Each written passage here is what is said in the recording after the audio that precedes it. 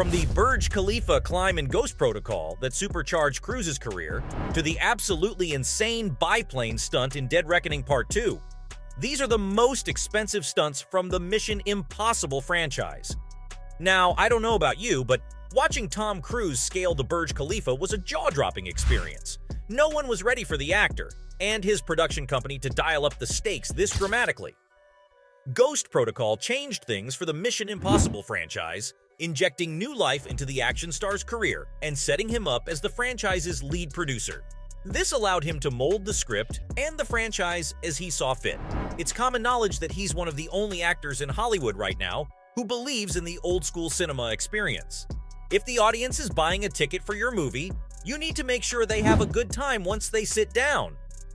So, Ghost Protocol went big and bold on the stunts, pulling out every trick in the book to make sure your jaw was on the floor during the action sequences.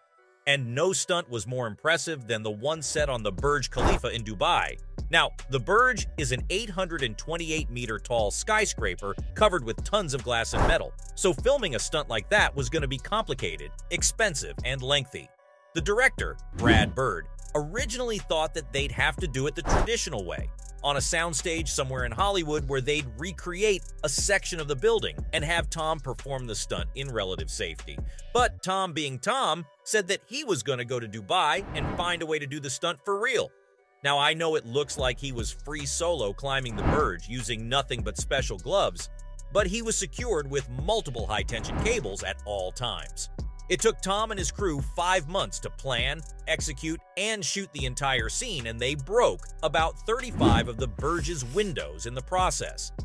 This wasn't by accident, though.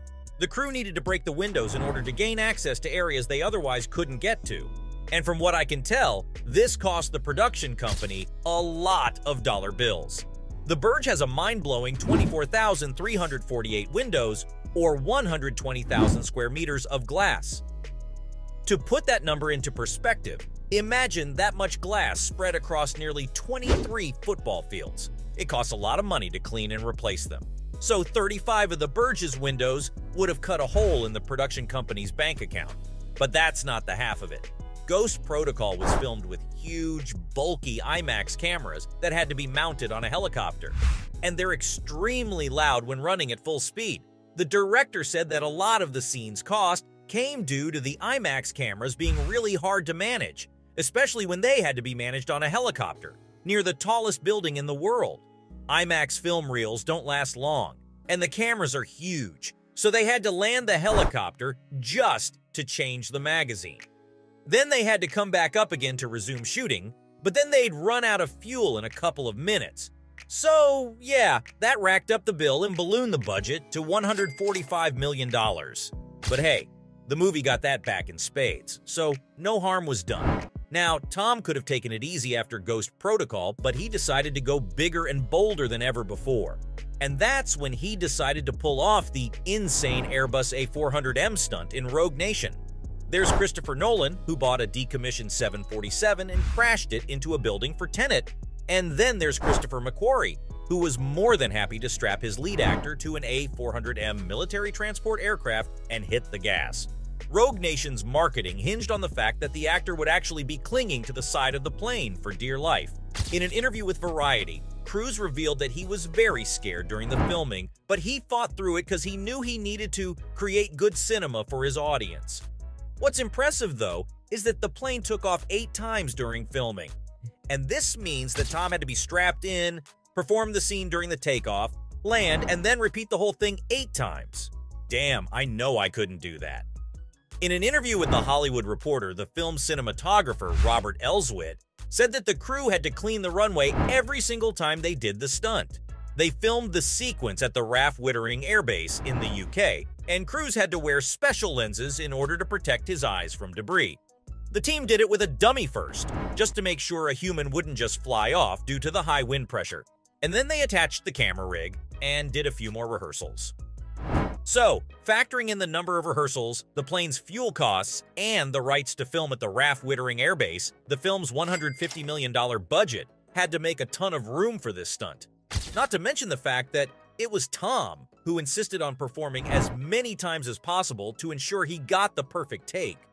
It just goes to show you how dedicated he is to his craft, and how far he'll go to make sure his movie is as good as it can be. It's one of the reasons why Top Gun Maverick made over $1.4 billion at the box office. And it's why he went even bigger for Fallout in 2018.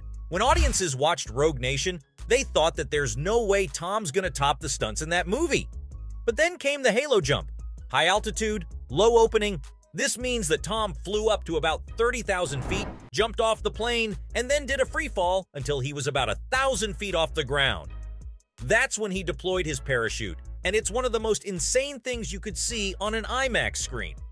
Audiences who saw it said that the actor's hard work was worth it, cause nothing could have prepared them to watch a stunt like that. And how do you perform a highly complex halo jump with multiple moving parts? Well, you rehearse it for months with experts who teach you how to maneuver yourself midair in order to avoid collisions with the cameraman. Yeah, Tom had to actively avoid the cameraman who was free falling with him at 200 miles an hour. And on top of that, the scene was a highly choreographed dance between Tom and Henry Cavill's stunt double.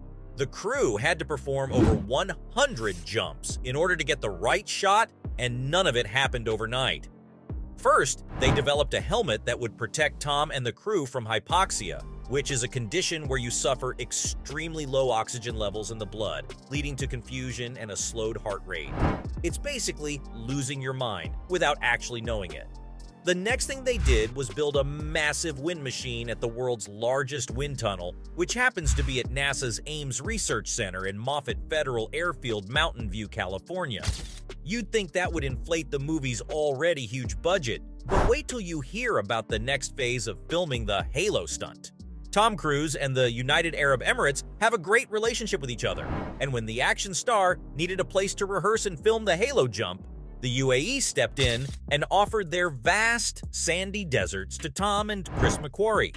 The actor said that if the UAE hadn't offered help, then the jump wouldn't have been made. So that's two mind-blowing Mission Impossible stunts filmed in the Arabian deserts, eh? Anyway, the next part was very tricky. The crew had a three-minute window to film the entire sequence, and it had to be done as close to sunset as possible. Otherwise, the footage would either be too dark or too bright, and knowing Tom, it had to be perfect. He and the crew performed five Halo jumps every single day, and since it took them 100 jumps to get the shot that they needed, it took around 20 days of continuous shooting to complete the entire stunt. Seriously, can the Oscars finally include a category for stunt work? Because Tom and his crew clearly deserve it but maybe they'll get the recognition they deserve when Dead Reckoning Part 1 and 2 hit theaters in 2023 and 2024. They were filmed back to back, and they weren't cheap. According to The Hollywood Reporter, the total budget ballooned to an astronomical $290 million. That's more than any other movie in the franchise. Tom and McQuarrie aren't leaving anything up to chance for Ethan Hunt's last ride and they made sure no expense was spared in filming its Daredevil action set pieces. The largest and most expensive of them will come in Dead Reckoning 2. Tom's planned a stunt that involves three biplanes, which will fly right next to each other, and I'm guessing he'll be jumping between them with nothing but a rope attached to his belt. According to British tabloid The Sun, Cruise learned how to fly the planes, and then rehearsed the entire sequence in the UK in 2021. Here's hoping that Oscar category comes through soon, right? So, from the absolutely insane biplane stunt in Dead Reckoning Part 2 to the jaw-dropping Burj Khalifa climb in Ghost Protocol, those were the most expensive stunts from the Mission Impossible franchise.